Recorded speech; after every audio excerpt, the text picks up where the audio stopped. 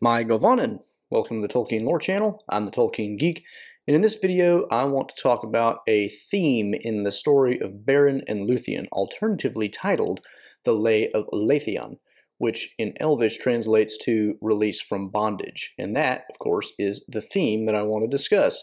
Tolkien names it this very deliberately, and it's very much a part of the story because there are multiple instances where somebody is freed either literally or figuratively from some kind of entrapment, imprisonment, whatever you want to call it, depending on the situation.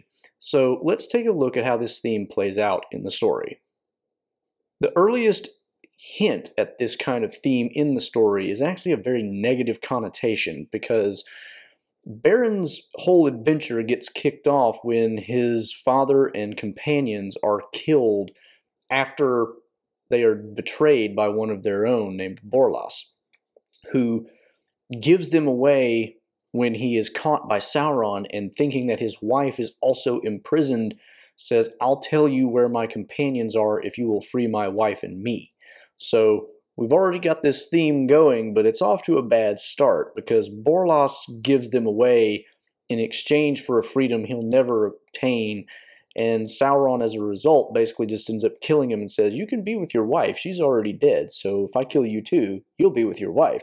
So instead of freeing him physically from, you know, being a prisoner and his wife, he frees him from his mortal coil. After the betrayal, of course, Beren survives because he's off doing something else. He eventually recaptures the ring that Barahir, his father, had been given by Finrod Felagund, and over time is narrowed down to an ever smaller and smaller territory to the point where he has to escape or he's going to be captured and he doesn't want that to happen. So he eventually flees his homeland, which is in itself a form of release because he's about to be trapped. And he travels through the Gorgoroth and the mountains of terror and the forests in the valleys there, and there's spiders, and so he has to escape all of that as well, which is in itself kind of another form of release because there's really no way he should have gotten through there alive. Then he finally comes to Doriath, and Doriath is the land of the fence. That's the meaning of the name, and the reason is because Melian has a magical barrier around it, basically, that prevents anybody from getting in. You become confused, you lose your way. Nobody gets in without Melian's consent. However, she has foretold previously that one will come whose fate is stronger than my ability to keep him out. And of course, that's Beren.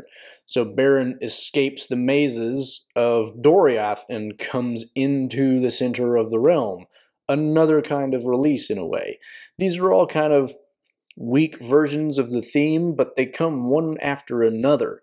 So it's really interesting, and they all have kind of the same feel to them. He's escaping an area or something that's going on in that area to get somewhere else.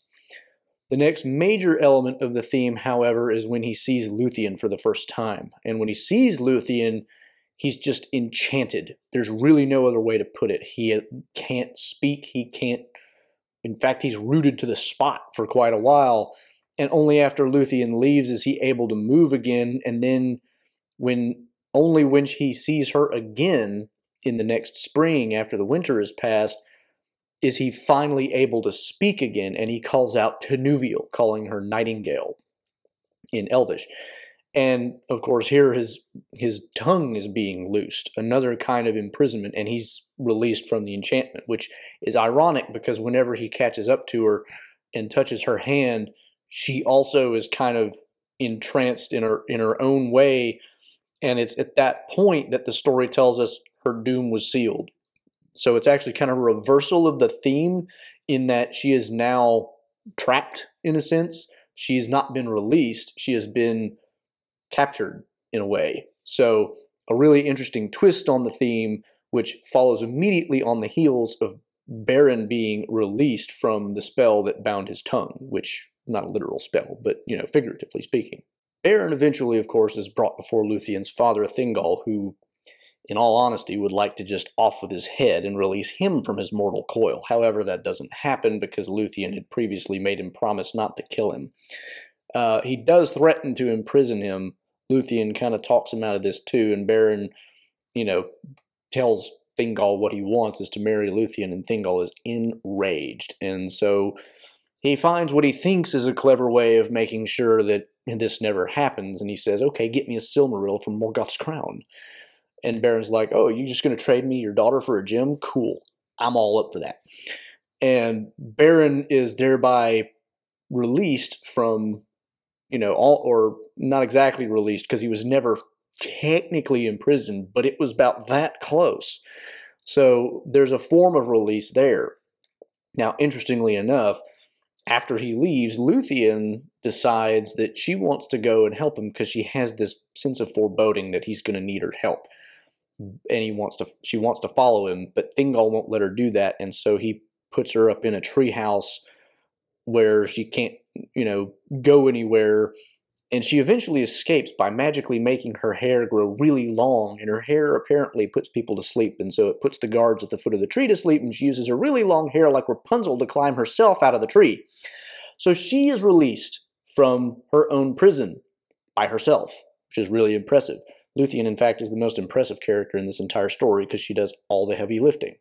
At any rate, she escapes there and then is met by two of the sons of Feanor who are currently living in Nargothrond, which is exactly where Beren had already gone to turn in the Ring of Barahir favor to get Finrod Felagund to help him out in his quest to get Silmaril.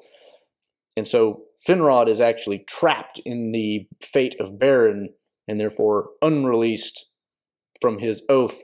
As a result, Finrod ends up going with Beren and several other elves to try to recover the Silmaril, but is caught at Sauron's fortress when he discovers that they're trying to pass by, and Finrod ends up in a magical song contest with Sauron in which he tries to conceal their identity, and Sauron gets past that and eventually imprisons them, not being quite sure who they are or what they're up to. But he puts them in a dungeon where werewolves eat them one by one until Finrod finally comes along and manages to break free of his bonds. There's another release from bondage uh, when the werewolf comes for Beren and has a fight with the werewolf, kills the werewolf, but in the process he himself dies and saves Beren, But going back to Luthien, Luthien meets two of the sons of Feanor who have basically kind of started to run things in Nargothrond after Felagund's departure, even though his brother technically is king.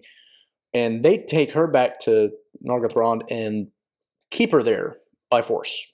But then Huan, the dog, the hound of Valinor, who is belongs to one of the two brothers, you know, breaks kind of the dog-like loyalty that he has and releases Luthien from the dungeons of Nargothrond, and therefore she ends up going with Huan to Sauron's fortress, which used to be an elvish fortress, which belonged to Finrod Felagund. How about that? Uh, and they end up forcing Sauron out, he transforms himself into a werewolf to try to kill Huan in pursuance of a prophecy. But at any rate, Huan wins, and then Luthien forces him to release this, the fortress from his magical hold, and thereby releases Beren. So he's released again, and as a result, they release Sauron. Not necessarily the most positive outcome of a releasing in this entire story, but you know, a deal's a deal, I guess. So anyway, they release Beren and the fortress, and the fortress actually becomes uh, green again and is never really taken over by evil again. So another form of release. After several other events transpire in which I don't remember there being any significant release thematic things happening, they both end up going to Morgoth's fortress at Angband. And at the door, he has placed the greatest werewolf ever because he's heard that Huan is out and about doing stuff. And so he's like, well, if he's going to die by the greatest werewolf ever, I'll go ahead and raise that puppy up, and literally from a puppy, uh, and have him guard my door. And so he does.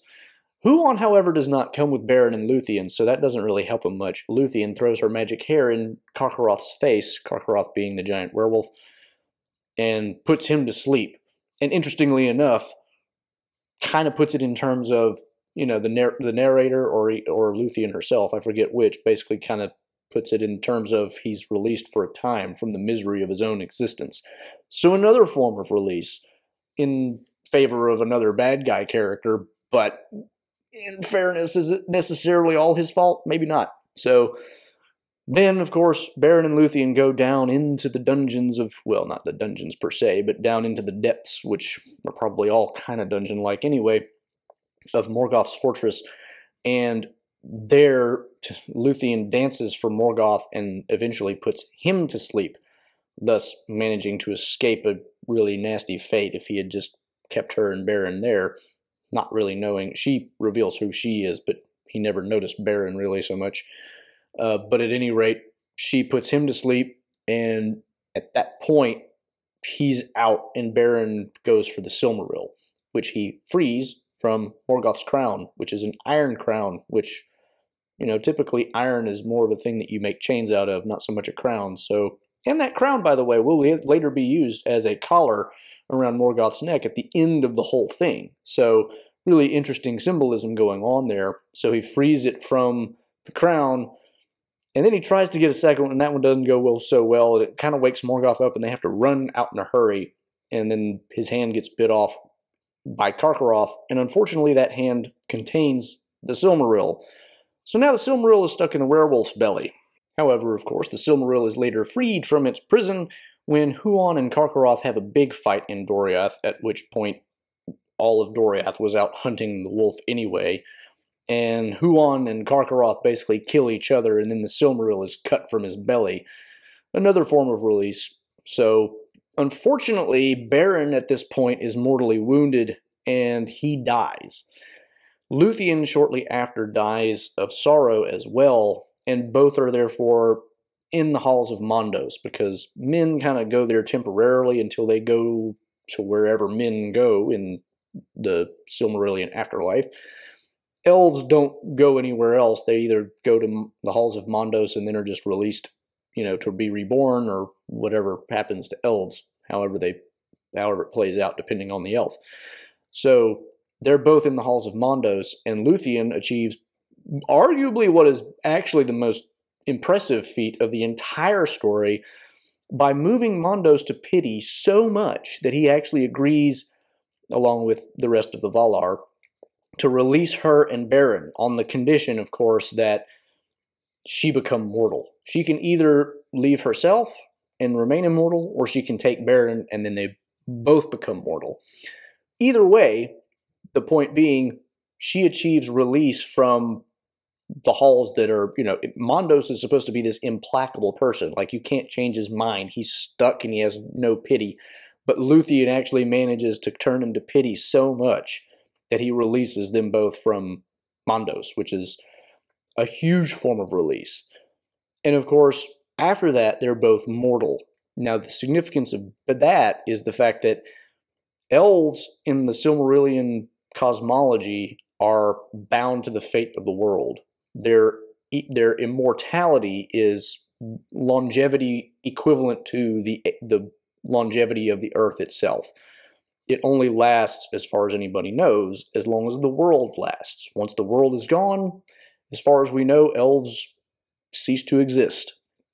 And so, in becoming human, she act or not human, but you know, mortal, she actually is released from being stuck within the circles of Arda and is freed to go with Beren when they both eventually die outside the circles of Arda, which is an even bigger deal, though not an impressive feat in the way that being released from the halls of Mandos was.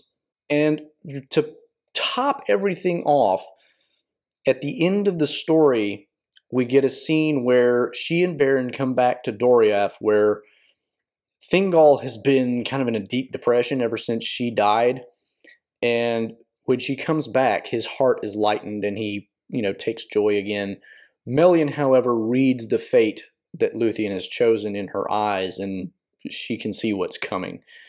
But what happens is, after this brief reunion, Beren and Luthien leave Doriath again free of care, free of you know worry. They go and live on their own way off to the east and seemingly you know have no cares or worries in the world.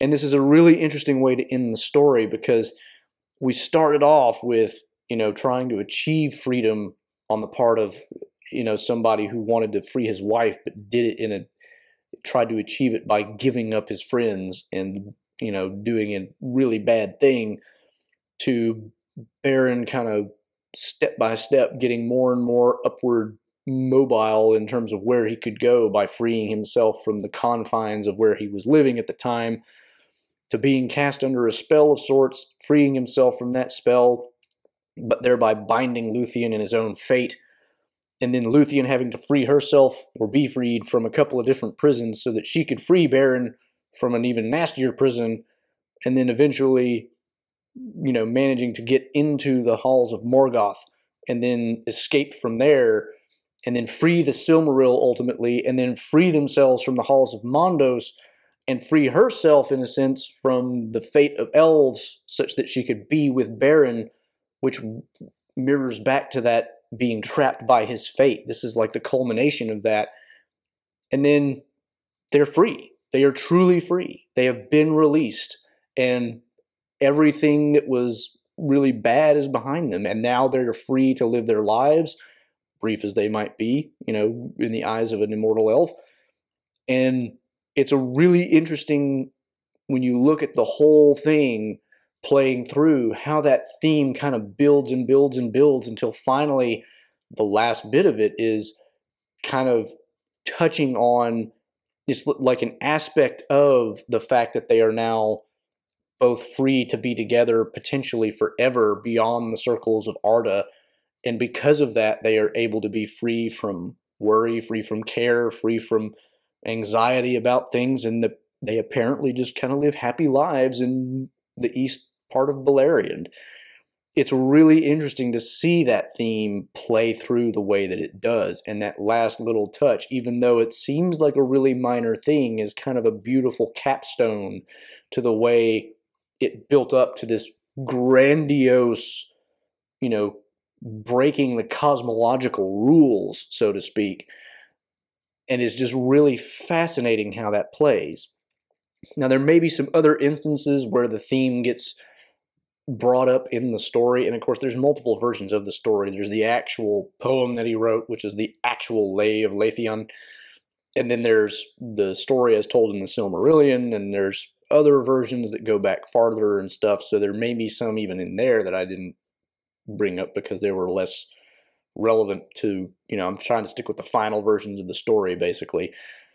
But if there are any others, bring them up because the more we can add to this theme building uh, and show how it fits into that, the better. So I hope you enjoyed that little bit of literary analysis and showing how Tolkien's theme of release really plays throughout the story of Beren and Luthien. And if you did, please do give it a thumbs up, share it around.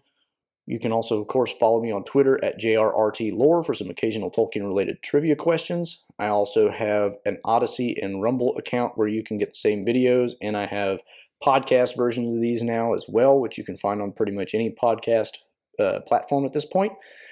And you can support me on Patreon. And of course, don't forget to subscribe to the channel and hit the bell icon for all the notifications if you want more content like this. Until the next time, I'm the Tolkien Geek signing out for the Tolkien Lore channel. Namarie.